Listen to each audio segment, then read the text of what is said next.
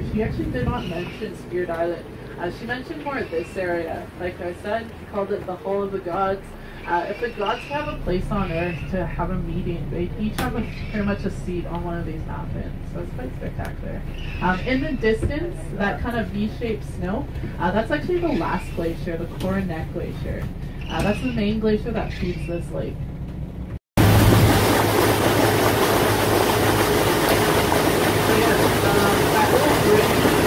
in front of the docks. Feel free to leave stuff on board. You're coming back on this vessel, but you guys have 30 minutes, 3-0. Um, when you guys hear a horn, that's the first one is for the Kalana. When you hear a beep, beep, that's for us on the boat ready. Wonderful. But have a great time, you guys. Feel free to ask us if you want